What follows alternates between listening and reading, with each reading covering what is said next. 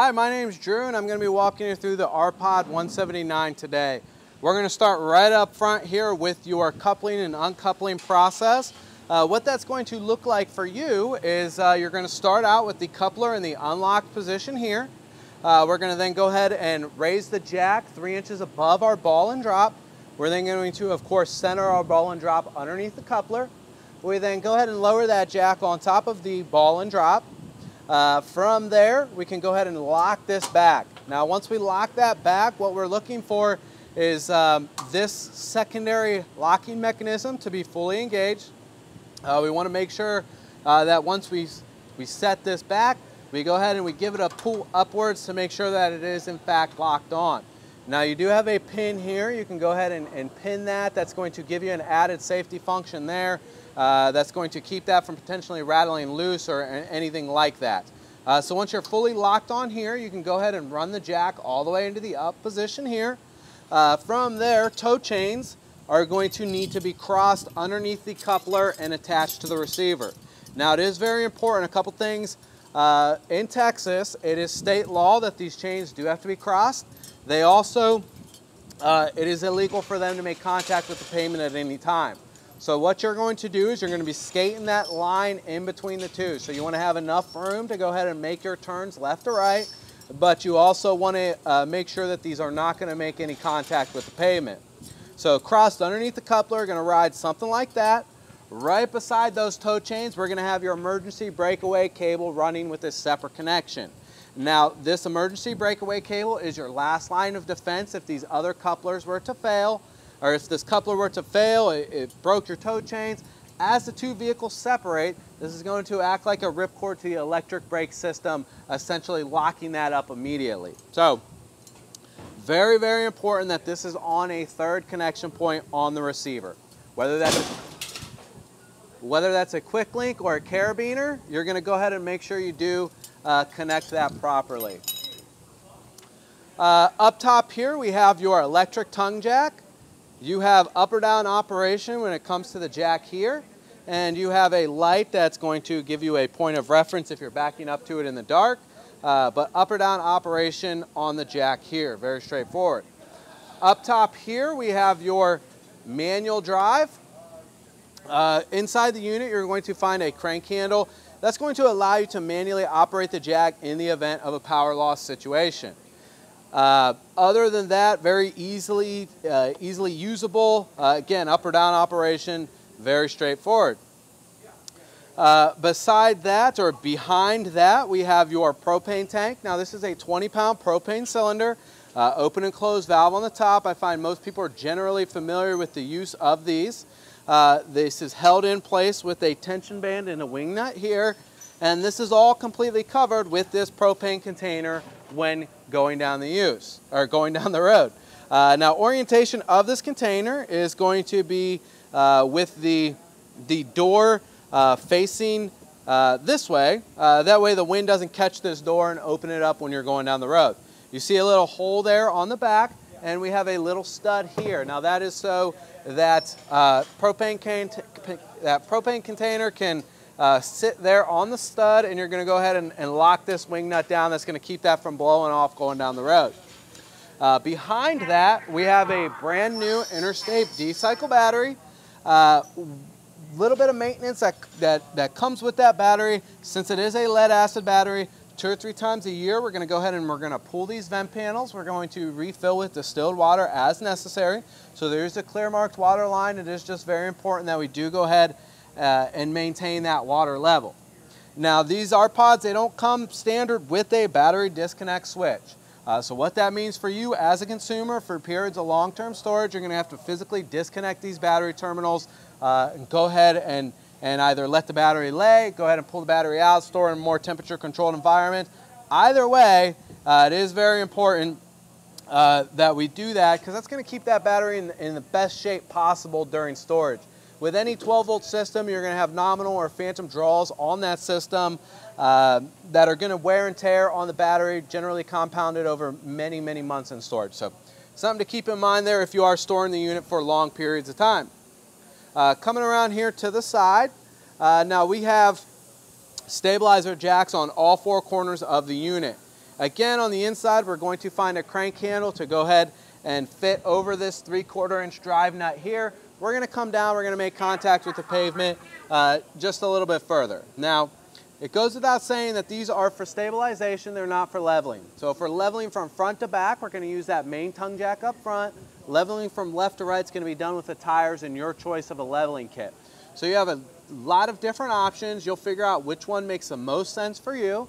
But once you are level, you're then gonna go ahead and run down these stabilizer jacks to stabilize the floor, keep it from feeling like you're walking around on the suspension.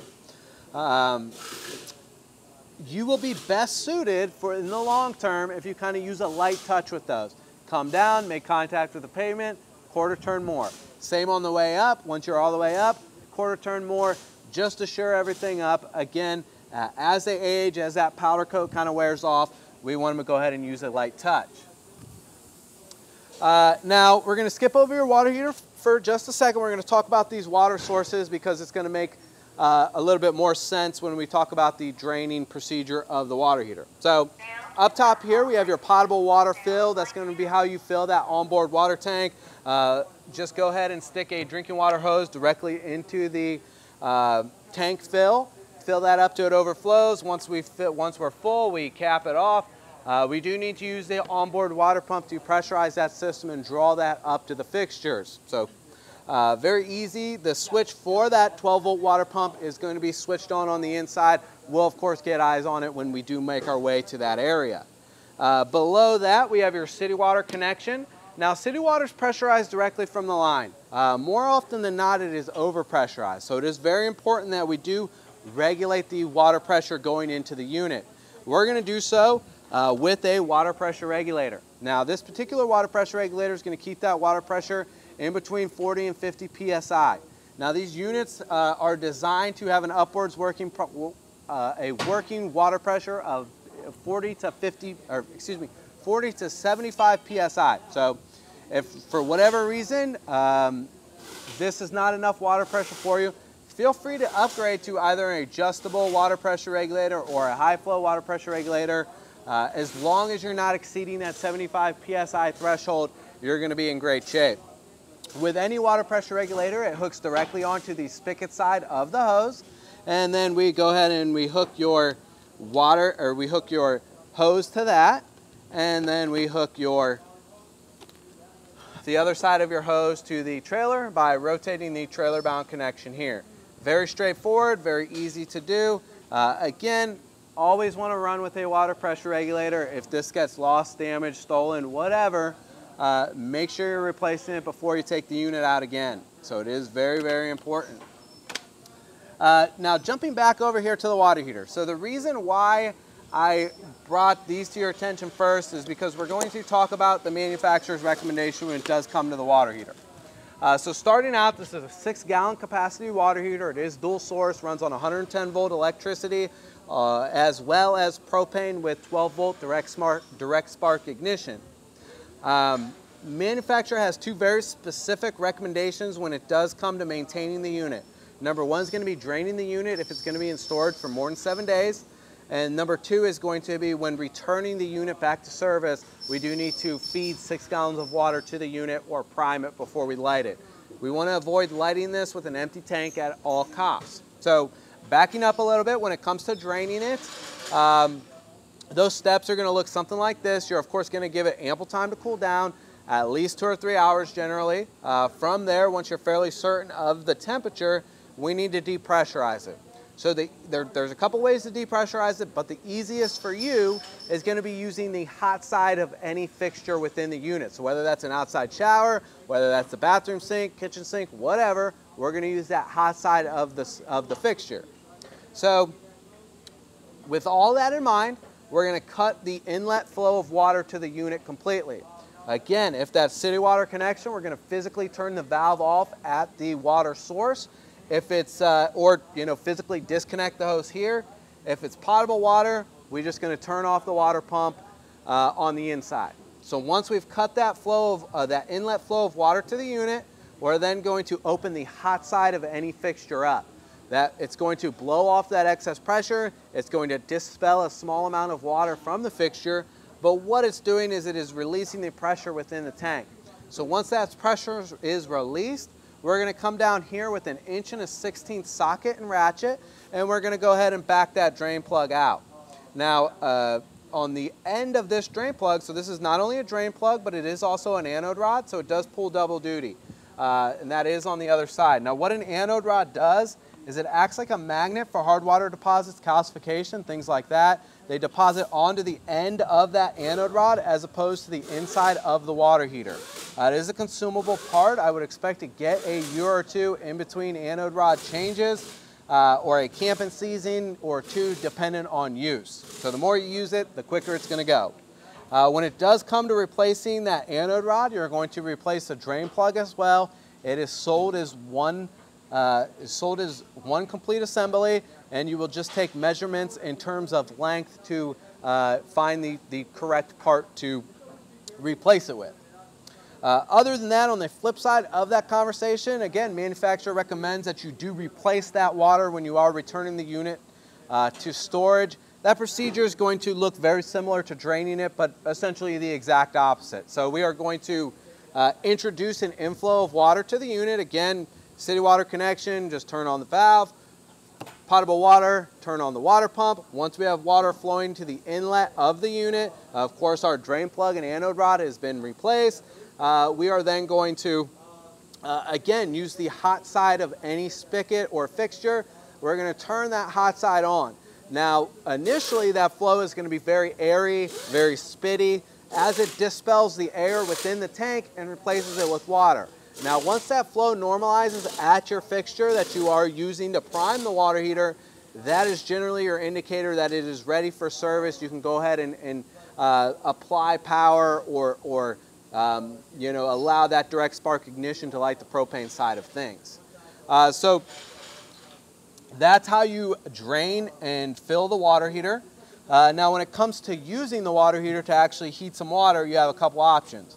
Uh, on the underside here, and it, it's very hard to find, but it is a little toggle switch. If you didn't know it was there, you may miss it. Uh, on or off is clearly marked. Now that's going to be for the 110 volt uh, heating element there. Um, and, and the biggest kind of thing I find with that is that people forget to turn it off uh, when they go to drain the unit. So make sure you're turning it off when you're done using it. Uh, this is again going to be what you're going to use in the capacity of an RV, tar an, an RV park. Anytime you have full-time access to electricity, you'd probably be best suited going ahead and using that electric heating element. Now the propane side of things, uh, the switch for that direct spark ignition is going to be found on the inside. They separate the switches, although you can feel free to use both sources at the same time. That's actually going to give you the highest recharge rate. Uh, next up in terms of efficiency is going to be propane. Lastly is going to be electric. So uh, switch for that unit for the electric or for the propane side of things is going to be on the inside. Again, we're going to point that out when we get to the inside. You'll see that. Uh, only other thing to really talk about with this unit is going to be the importance of protecting it from flying insects and mud daubers from nesting within the appliance. To do so, we are going to uh, use a bug screening material to go ahead and screen this grating in these louvers. Now they sell specifically cut screens on the aftermarket uh, to assist with that, but that's a valid recommendation whether you want to get crafty and DIY something, whatever. Our goal is to keep mud daubers from uh, nesting within the appliance, so however you accommodate that uh, is up to you. Just make sure that these are as free flowing as possible while still protecting them. Uh, while I have this door up, uh, we're gonna have to get low to see some things, but we have a drain plug here on the bottom. That's going to be how you drain that freshwater holding tank. We talked about how to fill it on the top side here, uh, but you just go ahead and you remove that plug. It's a gravity feed system. That's gonna go ahead and drain that uh, tank completely. And then beside that, we have the storage place for your uh, septic hose or your blackwater hose. Now this does run the full width of the camper. It can just about accommodate any sized hose. Uh, it is accessible from both sides. And again, it is just a storage place for your hose uh, to keep you from having to store that nasty hose with all of your other stuff. Uh, very straightforward, just has a door on each side. Now we talked about your uh, water connections here. We're gonna go ahead and move over to the furnace here. Uh, now this uh, is your propane burning furnace. Again, has direct spark ignition. Um, from this area here, it's not what we would consider a customer serviceable unit.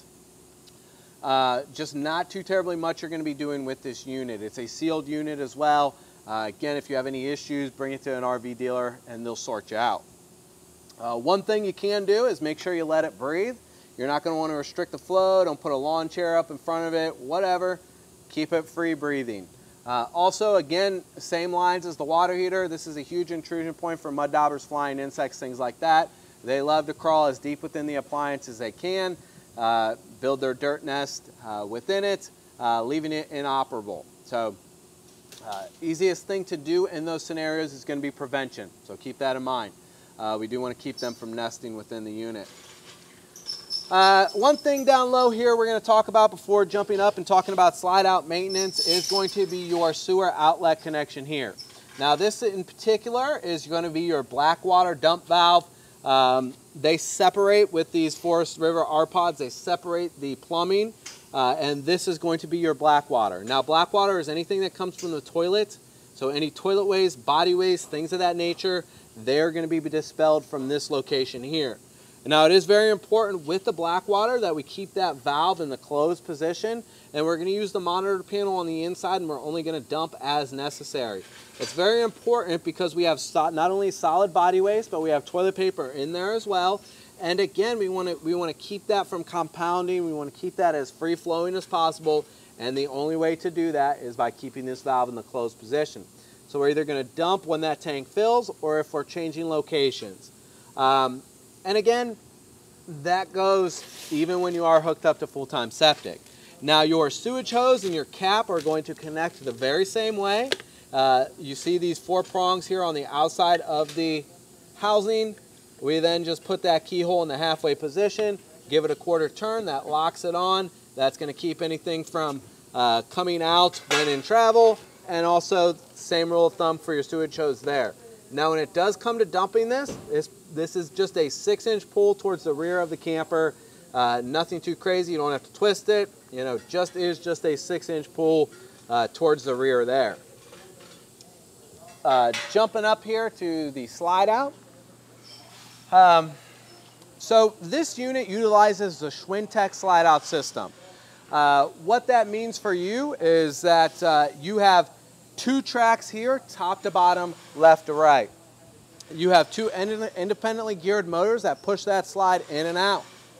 Uh, it is very important from a maintenance standpoint that we do go ahead and lubricate those tracks. So two or three times a year, we're going to, or every 90 days, we're going to go ahead and lubricate these tracks. What we're going to use is a dry silicone lubricant, uh, PTFE products, anything like that, as long as it is a dry silicone lubricant, is going to do the job here. We're going to go ahead and spray each track down. Again, we have tracks top to bottom, left to right. We're going to lubricate all tracks, run that slide in two or three times to distribute that lubricant. We're going to be in good shape. Uh, also, on that same maintenance schedule, we do need to condition these seals. Now, these seals run all the way around the slide out, and then you have a second set of seals on the inside because that slide seals in both directions. We're going to use an RV grade seal conditioner and we're going to go ahead and spray those seals down. Of course, we're ultimately going to follow the directions on the product that we're using, but generally those products will let you, uh, they will have you, um, have you allow that product to sit for a few minutes, wiping off any excess, and then essentially you're good for the next 90 days. Very, very important to keep this slide out functioning properly that we do follow those maintenance procedures. Uh, also, a good time as any to talk about overall unit maintenance. Uh, now, what we have here is, is again, this 90-day maintenance schedule for, for really just about everything in the unit is a good habit to adopt. Uh, we're going to give it, uh, when, we're, when we're going ahead and we're treating our, uh, lubricating our slides and, and treating our seals, we're going to also do a 360 degree inspection top and bottom of the unit in general. Anywhere on the body where two pieces come together, there's going to be used, they're going to use a 100% silicone product, 100% um, silicone product to seal that. So uh, it's our goal every 90 days to inspect those uh, connection points where they have used some sort of sealant and make sure we don't see any degradation, any cracking, any peeling, anything like that. And again, on the body, you're generally going to find a 100% silicone product, and that's what we're going to use to maintain it. On the roof, they use a lap sealant, so a self-leveling lap sealant. Generally, the big name is Dicor. Uh, generally, again, you have to source those from an RV dealer, but we're looking for the same thing. Any cracking, any peeling, any degradation, we're going to touch up as necessary, and you might as well just source both of those products from the same location, which is going to be an RV dealer or a parts house. Uh, moving on, we have tire pressure and lug nuts. Now these lug nuts have been torqued to 100 foot-pounds here in the shop. Uh, manufacturer's recommendation with any unit that we deliver is going to be a retorque procedure. So what that's going to entail is the first 15, 25, 50, and 100 miles of initial travel. It is very important that we do go ahead and retorque those down to 100 foot-pounds. Make sure they're not working themselves loose. Make sure that they are, again, maintaining that level of torque. Manufacturer further recommends that at the start of each trip there on after, that we do go ahead and retorque them down to 100 foot-pounds. Very, very, very important that we do uh, follow those rules. Uh, now in terms of tire pressure, when we are talking about any trailer tire, you run trailer tires at the max tire pressure rating. That is stamped at the traditional location on the sidewall of the tires. You would find it with any vehicle, but it is also stamped uh, or written on this data tag forward here. So with this particular, uh, with these particular tires, we run those at 65 PSI. That's the max tire pressure rating. That gives you the highest flexibility in terms of weight rating, whether you're completely full or completely empty. That 65 PSI is going to be a great number for you. Uh, again, moving on, a little tight here on space, but we have your refrigerator compartment here. Uh, now, from a maintenance standpoint, not too terribly much that, this, that you're going to be doing with this unit.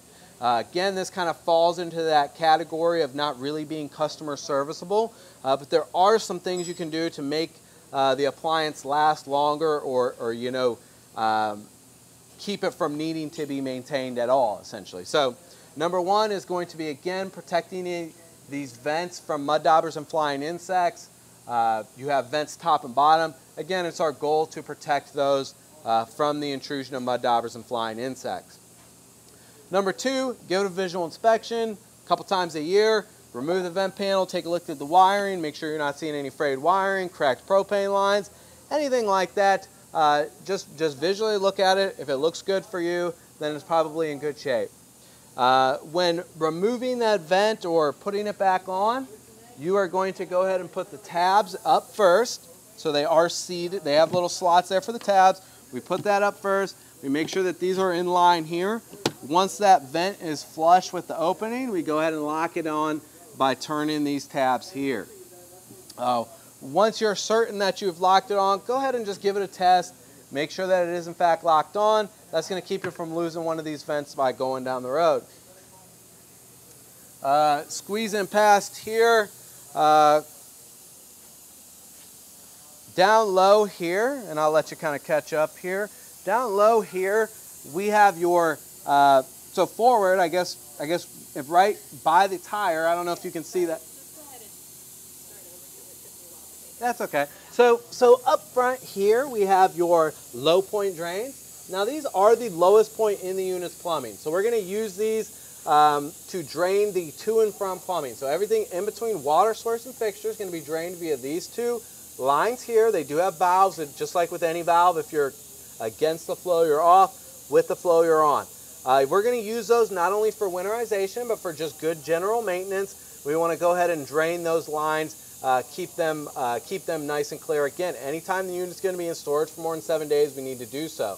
So that procedure, kind of to bring it all home, is we're going to start with the freshwater tank if it's been in use. Uh, then we're going to come down here, we're going to open up these low point drains, let that water drain out.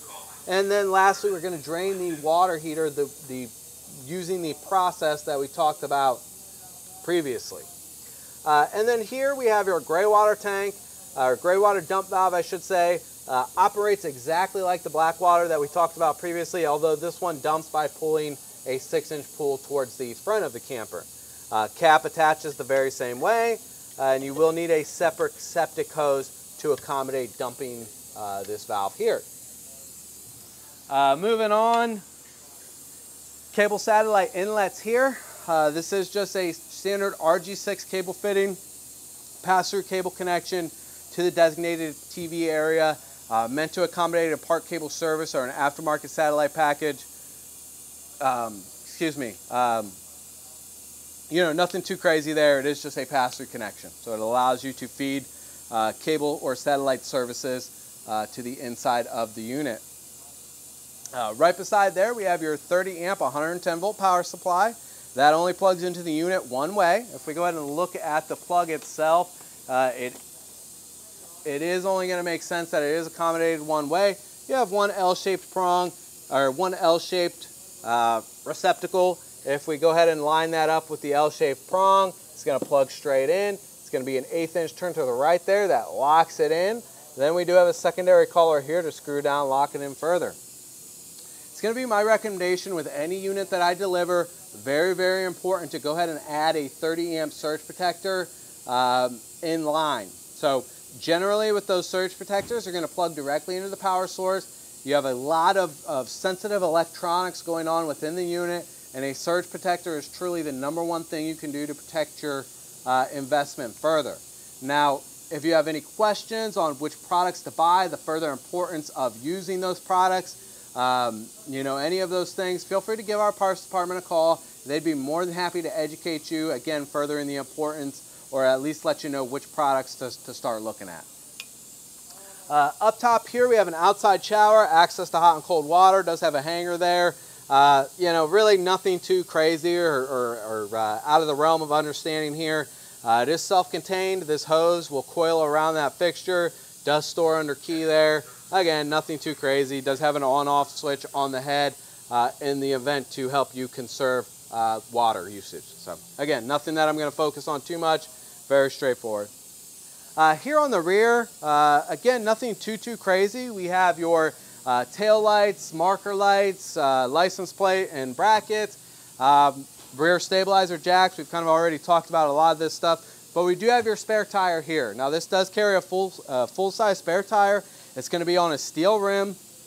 Uh, one thing to remember when we do come, when it does come to changing a tire, uh, it's very important on where we place that jack. So of course the unit itself does not come with a jack, so you're going to, uh, number one, make sure the jack that is included with your tow vehicle is going to accommodate this vehicle. Uh, once you're sure of that, uh, you're going to then place that jack directly on the axle as close to the tire as you can without it interfering in your work, and then you're going to, of course, change the tire from that location. Um, up to you on whether you place your uh, flattened tire, your blown tire back here onto the mount, uh, but again, this is to help you uh, not be stranded going down the road, essentially. Uh, moving on, um, you know, really nothing too, too crazy here as well. Uh, I like to call this stuff kind of the usual suspects. We have a standard assist handrail, locks in that out position for use, can either fold against the body or fold against the door uh, for travel, uh, whatever you prefer. Again, we're talking about preferences here. There is no right or wrong. Uh, standard RV style flip step, which means that the bottom is going to flip up and that the uh, rest then just kind of slides in. Uh, same on the way out out and down. Uh, we have your black tank flush here. Now, these black tank flushes, they're, they're excellent additions, uh, huge upgrades that we see pretty much standard on most models these days. What this is, is this corresponds with a, a jet inside the black water tank. Now what that jet does is it is specifically designed to help blast off compounded toilet waste, body waste, things like that. Uh, this is, uh, so, so you're going to hook a, any old garden hose, any old dirty hose into this, and we're going to use that to clean out the blackwater tank. Now it does have some limitations to it. So if you were to hook up water flushing or water rushing into the unit with that black water valve in the closed position, uh, it's going to overflow that tank and essentially the path of least resistance is going to be the rooftop septic vents. So of course that is something we, we definitely want to avoid there. So what I recommend my customers, if you do choose to keep that black water valve in the closed position while utilizing the black tank flush, of course that's going to give you the, the, the most rinsing action. Uh, if you choose to do that, Do not let water rush in there for more than five minutes, number one. And uh, periodically check the monitor panel on the inside while doing so, making sure you are not going to overflow that tank.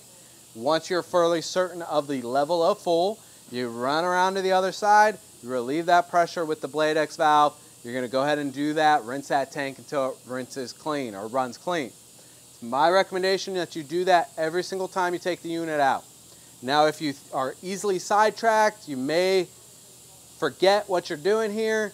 Go ahead and leave that black water valve in the open position. That's going to keep you from being able to overflow that tank. You're not going to get that excellent rinsing action, but that's going to be better than, again, potentially overflowing that tank.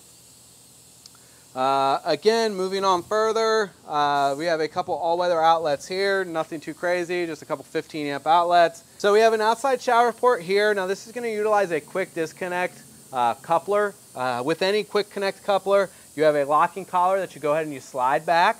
Uh, from there, you're going to go ahead and insert the male end fully. Uh, once fully inserted, that's going to automatically snap back. Once, it, once connected, it's going to automatically pressurize that hose for use. Excellent pairing here with the outside kitchen with the sink here.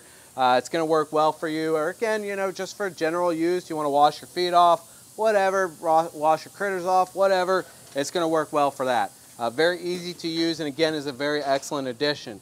Uh, what we have here is going to be a standard uh, camping stove cooktop. Uh, this works very well. It ties into your existing propane supply using this hose. Now it's going to again utilize a series of quick connect uh, quick connect fittings to do so. Uh, before showing you further, I just want to kind of show you this valve here. So slide that back, you're going to insert the male end, which is of course not this end, but it would look very similar to this. You're going to insert that fully. Once you're fully inserted, that snaps back, and then we would turn it on with the valve there. Now, when you're connecting this, you're going to take this uh, female end, and you're going to connect it to the male end here on the underside. So you have the end there, and we would just again do what I just told, told you to connect there. Now, we're going to take the male end and we're going to connect it here on the camper connection. So again, you have that very same uh, connector that we saw there, and we're going to insert the male end fully until it locks, and we're going to go ahead and turn, not only turn the valve on here, but we're going to turn the valve on here as well. Now when going down the road, it is very important that we do go ahead and put this dust cap back uh, in its location. That's going to help uh, keep everything nice and clean, keep any road debris from depositing within that fitting, uh, make everything work well. Now, uh, this all not only, of course, folds up and is stored within the compartment, but it is fully removable in the event that you uh, decide that, hey, I haven't been using it, I would rather have the uh, compartment for storage. You have a little bar latch back there. Just go ahead and, and remove this, store it in your garage, whatever. Uh, you will find out what makes most sense for you, whether that is to use the kitchen or to not. Uh, just about covers it here on the outside of the camper. We're going to talk about uh, awning function and, and uh, lights and, and uh, speakers and things like that all there on the inside. But that just about covers it for now. We're going to hop on the inside and take a look at those features here in just a minute. Alrighty, so here, right inside the entry door, a couple things going on here. We have your first piece for your first piece of safety equipment, which is going to be your fire extinguisher. Uh, does have a green test tab, and it is important that we do test our safety equipment every single time before taking the unit out. Green test tab, go ahead and push it down. If it springs back, that means the unit has life in it. It's, it's ready to use. If that green button were to stay depressed, we need to go ahead and pull the unit out and replace it. Uh, also right here inside the door we have your road vac. Uh, a couple of ways to operate that. Of course you can go ahead and uh, attach a hose there to that orifice. Uh, does not include that hose kit, but if you find out that you really like this and it's uh, worth it, you can go ahead and upgrade to that hose kit. Does have an on-off switch here. Uh, not going to turn it on because it's going to be really loud there on the mic. Uh, same with down here. So this is a, a uh, this has a opening drawer there. What that does is the idea is you can go ahead and you can um, sweep your, uh, with a broom, go ahead and sweep your debris towards this area. You go ahead and lift it up. It's going to go ahead and suck it up like a dustpan. Uh, does have a uh, bag back behind this, this, this panel. So we go ahead and, and put our finger in there. That's going to allow us to open it there. Uh, take note of the bag before you throw it away. That way you know which one you need to replace it. Uh, here on the other side, we have your converter fuse panel breaker box. Uh, what we have here is your automotive blade style replaceable fuses there on the right. That's going to be for your 12 volt appliances. On the left there, we have your light switch style breakers. Uh, those are going to be your 110 volt appliances. They are resettable. Probably have seen these before, possibly in your fuse box at home. Everything in terms of function is labeled right there on the door for both of those power sources. Uh, hopping up here within the units, uh, coming here into the kitchen, we have your standard, uh, again, basic kind of camping stove cooktop. Uh, same variant we saw outside is going to operate the very same way in terms of function as the one we uh, saw outside. This one does have a tempered glass top though, so it goes without saying that this is not a griddle, this is not a cooktop. It is very important that we go ahead and let these burners cool down uh, before closing this lid. It's tempered glass. I've seen them misused. I've seen them broken because of it. So keep that in mind. Uh, kitchen area, of course, you have this single bowl sink. Nothing too crazy. Uh, access to hot and cold water. Uh, nice, nice uh, countertop extender there. It's going to give you a little bit of space if you're prepping a meal uh, or whatever. Uh, you can go ahead and use that. large amounts of storage and cabinetry. again, within the unit. Uh, nothing that we really need to focus on too much, uh, but you do have a couple USBs here for charging. Uh, that's going to be an excellent upgrade. And then you also have a couple 110 volt outlets there uh, for, for again, powering, uh, you know, coffee pot, whatever you choose here in the kitchen area to power. we have your three-way high point microwave convection grill here. Uh, does work on all of these functions here. So you have a convection option, you have a grill option, roast. Um, on the inside, we have a heating element up top. Uh, works like a toaster oven. Again, using this uh, graded tray there, it's going to work like a convection. Also does have a turntable to run it like a traditional microwave. Operation of this unit is uh, very indicative of what you are generally going to see with a microwave. Uh, you can choose your source up top here you have uh, time uh, and temperature set here. Does come with the service manual, although I find most of my customers can work themselves around the unit uh, with just looking at it. So uh, down below we have your Dometic three-way refrigerator. Uh, does run on all three power source. What that means is runs on 12 volt DC, runs on propane gas, and also runs on 110 volt electricity. Couldn't it be easier to select your power source uh, because you just go ahead and push the button, on off button here, and then press the corresponding uh, power source. Now if I go ahead and here and put it in propane gas, you can see it uh, alarming to me. That's just saying that it's not sensing any propane flowing through the line. Uh, in the event that this happens to you, and it will most likely happen to you, you're going to want to go ahead and push that uh, reset button there and that's going to send it into another lighting cycle. Generally, it'll try and light for a certain amount of time. If it does not end, uh, light by the end of that lighting cycle, it's going to go ahead and uh, alarm to you. We also have your temperature control here, uh, which of course the more bars you see, the cooler it is. Um, again, super, super easy to work around. Uh, here on the inside, of course, you get the fancy blue lighting. You have the flip down ice box, which is removable. Directions to do so are right there on the front of it. We also have this door hold open. So if I go ahead and uh, slide that out, that door hold open is going to keep that door from closing. That's designed for use uh, in storage. So what that does is keep this door from closing all the way, keeps it from getting musty or mildewy there on the inside. It's going to work out perfect. Uh, make sure you do leave that door open when storing it. Uh, other than that, again, very straightforward, very easy way, uh, easy to navigate through. Um, shouldn't give you any issues. Uh, coming over here, a lot going on on this wall space. Starting up, uh, R Pods are now wired from Forest River, pre-wired for uh, the addition of a rooftop solar panel. Excellent feature. What this sticker is noting here is that this is where you would uh, install the charge controller, even gives you a little pattern to cut that out. Uh, those rooftop, that run of wires uh, terminates at this location. So that's what that sticker's noting. If we drop down here, we have your main uh, switch cluster here. Uh, this is going to control most of your lights, interior and exterior, as well as that your slide out controls, awning, things like that. Excuse me.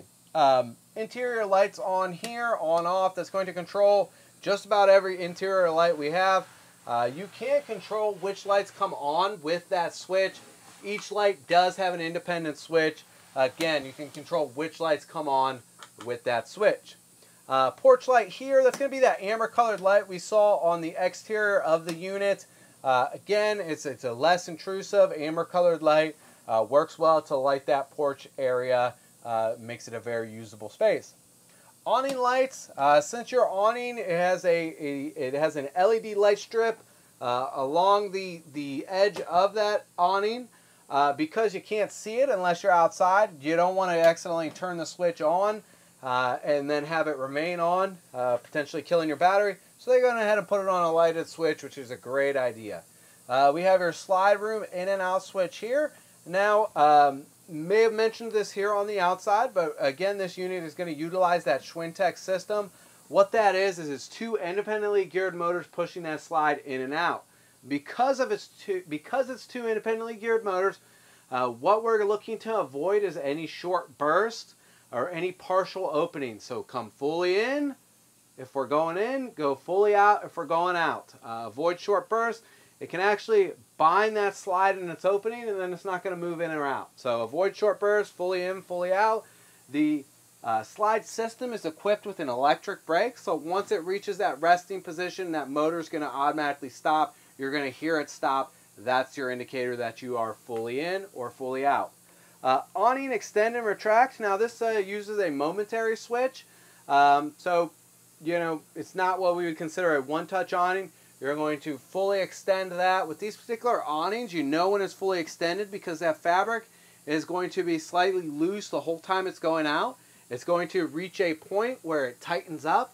That's the fully extended point. If we go a little bit further than that, it's going to droop down again. So you know you're right at the right location when that fabric is nice and taut.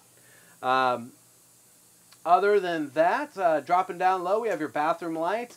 Uh, now this is, of course, controls that bathroom light, but that light also does have a switch right there on the fixture. Uh, feel free to operate it in either capacity. Uh, jumping over here to your courtesy panel, this is going to give you a real-time readout of where your tanks, uh, your, your tanks sit in level of full. We have your battery here. Uh, of course, that's gonna, that reads full. That's going to read full anytime we are plugged into short power. To get an accurate reading of that battery, we do need to unplug and go ahead and test from here. We have your freshwater holding tank there. That is full. We have pressurized that system, went through all the fixtures, make sure everything is uh, working correctly. We have your blackwater tank, which is empty as it should be. Gray water is empty as it should be. Uh, water pump switch here. Uh, now, both of these switches are lighted, the water heater and the water pump, uh, so you know when they're on. Uh, again, that water pump is designed to draw that water up from that potable water tank to the fixture and make it usable. We have your water heater switch here. Um, now, when I go ahead and turn that water heater light, you're going to see this fault light come on with it. That fault light is going to flicker on and off initially while it's going through its lighting cycles. If we come back five minutes later and that fault light is still on, then that means that water heater has not lit. Uh, reason for it not to light could be a multitude of different things. Either you're out of propane gas completely, you don't have the valve on, oftentimes it just takes a little bit of time for the for the propane to front go to flow from the tank to the appliance. In the event that, that you come back five minutes later and that fault light is on, uh, go ahead and of course check, make sure your valve's open, make sure you have gas. If you have both of those things, just turn the switch off, turn it back on, it is going to recycle another three times. And again, just a reminder, we talked about the location of the 110 volt heating element for the water heater on the exterior of the unit. This switch is for that propane side with that direct spark ignition. Beside that, we have your Dometic thermostat. Now this utilizes a captive touch. Uh, these buttons can may or may not be as responsive as you'd like. I promise you, pushing harder on that does not make it work better. It is a captive touch, uh, so that could be slightly unreliable, uh, but it does generally work fairly well. Um, so when we go ahead and turn it on, we first have to choose a fan speed, and this is talking about air conditioner fan speed. Uh, our choices are low, high, and auto. So if we chose low or high, that fan on the air conditioner is going to run indefinitely. Uh, even if our next selection is going to be thermos, uh, it's going to be furnace, that fan is going to run indefinitely. So to keep it right with us and having it automatic shut off once it's reached that thermostatic temperature, we need to put it in auto there. So once we've confirmed that fan speed, it's going to take us into that air conditioner mode, which is denoted by the snowflake there. It's telling us our fan speed again, which is auto, and it thermostat is set to 72 degrees. If I want to change that, I have arrows here to uh, up that up or down. If I hit that one more time, that's going to kick on the furnace. Uh, once it realizes what I'm doing and catches it up, it's going to kick that blower motor off or kick that air conditioner fan off immediately. Uh, from there, uh, that blower motor comes on immediately. 16 seconds after that, it ignites. By that 30 second mark, it's producing noticeable heat. In a unit of this size, I would not be overly surprised if it does in fact set off the smoke alarm. Uh, that is acceptable from the manufacturer's standpoint within the first 15 minutes of operation. Uh, the longer you operate the unit, the efficiency goes up. Shouldn't uh, set off the smoke alarm uh, after that point. So just keep that in mind. Uh, next up selection on that is going to be off. So we're, we're kind of done talking about the thermostat there. And we're going to talk about the bathroom a little bit. So what you have here is a wet bath. You have a, a small sink with a diverter uh, to allow you to use that same water source for the shower. Shower has an on and off uh, on the fixture. Uh, that's going to help you conserve your water supply. You'll find yourself with most campers doing military Navy style showers. Uh, what that's going to entail is getting wet, turning the water off, lathering up, turning it off again, rinsing it off, uh, so on and so forth. All in the event of conserving not only your hot water, but your overall water supply. Uh, other than that, talked about the light and the switch. We have a fan here on the inside. Now that resting position should be locked, so that, that locking is, is pushing that straight up. So in this case, we're trying to open it. We're going to pull down to unlock it. I'm going to rotate that uh, to go ahead and open it. And then I have four fan speeds here. As long as I go there through the fan speeds, you can see that start to rotate. Uh, that is an exhaust fan that's going to help pull any moisture from the shower, again, when you are showering. Uh, fan off here, biggest thing with that, uh, we do want to make sure we do go ahead and close that before going down the road. Probably not going to be there when you get to where you're going if you forget. Uh, once we close it, we lock it, we're good to travel. Now with these wet baths, of course you see the shower curtain hanging here. You of course have the door. Most of the time, uh, it's going to be it's going to be your best option to go ahead and shower uh, with the door open. That's going to give you kind of room to, to actually do your business. Sitting in there with the door closed, it is a very tight space, uh, so keep that in mind. Flush is going to be on the right side of the bowl, left side if you're sitting on it. It's going to be a light pull to fill up that bowl. Always want to keep some water in the bowl. That's going to help keep the bad smells down when you do go ahead and flush. Uh, and then it's going to be a full pull towards you to flush. Uh, now you want to use a single ply RV grade toilet paper, very, very important. Uh, or and also paired with a chemical treatment, whether that's a deodorizer, a tissue dissolver, or a combination of both. If you have any questions on what toilet paper to use, what products to use, feel free to go ahead and contact our parts department. Uh, again, they'd be more than happy to educate you on which products are going to be best for your black water holding tank uh, within these units. Uh, just about covers it here in the bathroom. And we are going to move on. Uh, down low, something I didn't talk about earlier is we have your second piece of safety equipment there. That's going to be your carbon monoxide LP leak detector. Uh, what that is going to do for you is it is going to alarm you of uh, the presence of any of those gases. It uses a series of light flashes to do so, and the scale is written right on the appliance does have a test button. We want to test it again every time we take the unit out. It is wired into the 12 volt section of the camper, uh, so there is no battery to change. Just again, make sure it is in good working order uh, before taking the unit out. Uh, before I forget, smoke alarm up top here does run on a 9 volt battery. Your last piece of safety equipment. Again, to sound like a broken record, check it every single time you take the unit out. Make sure you have a battery replacement uh, if you're like me, that battery, that alarm's going to start chirping at the most inopportune time. 3 a.m., whatever. Uh, of course, it's not going to be my recommendation to remove that battery. Keep a spare with you to keep you from having to do so. Uh, what else we have? Uh, we have your main GFI receptacle down here on the floor. Now, all the receptacles within the unit are on the same circuit. That's going to be the reset point. Uh, very much like your bathroom at home, there's going to be a test button as well as a reset button. Uh, and if you don't have functionality to your receptacles, more than likely you need to reset it there. Um, turning around here, we have your Furrion unit. Um, now this is going to give you Bluetooth connectability as well as uh, a oh, as well as AM FM radio. Uh, we also have uh, inlets here. So we not only have 3.5 millimeter headphone jack and auxiliary inputs, we have HDMI uh, input and USB input. Now the HDMI input direct, uh, connects this to the television, so if you're utilizing any streaming services or anything like that, uh, you can kind of use this as a hub to do so to feed that uh, into the television. So uh, going to work well. I find again that most people in this day and age can really work themselves around these uh, units. Uh, but one thing to keep in mind is we have two zones of speakers. Zone 1 is going to be the inside speakers. Zone 2 is going to be the exterior speakers. We saw those on the outside. You do control each volume separate uh, with that zone. So select the zone here on the top display, dial that volume up or down, you'll be good to go.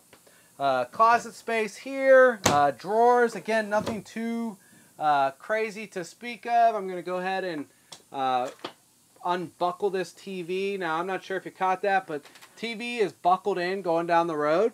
It, of course, is very important that we do so. That's going to keep it from flopping out. But when we want to watch it, say sitting on the couch or, or, you know, within the kitchen, we go ahead and pull it out here into the living space. Just like any other TV, has a button there on this side uh, to turn it on and off. Does have a remote. Uh, just functions very much like any other TV you've ever seen. Now I'm going to kind of pull this out of the way. I'm going to switch places with Clint. We're going to talk about that antenna booster there. Uh, so you have a red light there on that antenna booster. What that red light notes is that uh, you have a uh, antenna on the roof and that it means that the antenna is on. Now it's an omnidirectional digital over-the-air antenna and that uh, is is again powered by that booster plate there. Now we saw the cable satellite inlets on the outside of the camper what happens is that antenna and those the the the RG6 line they same that they share that same pathway. So what that means is if you see that red light, that signal for those that that, that cable part cable service is not going to bleed through the line. So if we're utilizing a part cable service, we need to push that button which is directly by that red light to turn that red light off and, and turning that antenna booster itself off and that's going to allow that cable signal to bleed through. Now when it comes to using it, we just turn it on, we do a channel search, it's going to do all the legwork, it's going to seek out that best signal, bring that in accordingly, uh, bring any over-the-air television in uh, according to that. Um, this area here is going to also make a bed. Uh, to do so, we are going to remove these cushions here. And then we would go ahead and take our tabletop, which is on the uh, bed right next to Clint there, and we're going to set it on these ledges here. Uh, nothing too crazy. It is just a standard kind of card table design with the foldable legs. Uh, you know, really, again, very, very basic, very, very easy to do. Uh, sure, you can work around it, but if you have any questions, feel free to give us a call. We can further walk you through. Uh, some things we didn't talk about is going to be fire exit. Fire exit, if your entry door is blocked, is going to be here at this location. Uh, you have these latches here. If you're particularly motivated enough, undo the latches, go ahead and exit the unit from that location. Uh, again, if the entry door is blocked, that's really your, your, your best option. Uh, all of the windows, including the emergency exit, are going to open the same way. You have a lift tab here. You pull that, slide that uh, to the opening. Uh, works great. Screen. Uh, use the fan to go ahead and get a cross breeze going, whatever. Uh, it is very usable. Uh, your privacy shade is there. That's a friction-based shade or a tension-based shade. The amount of tension here on the strings allows that to hold open when it's not in use. As these age, they may start to droop down on their own. Feel free to unscrew this, loosen it, pull a little bit string, pull a little bit more string through, tie a knot, tie a new knot, and you're good to go until it stretches out again. Will stretch out is just inherent of the design. Uh, really think I just about hit everything here on the inside of the unit. Uh, we do hope you enjoyed this walkthrough on the R Pod 179. Again, if you have any questions or concerns, please don't hesitate to give us a call. Thank you very much.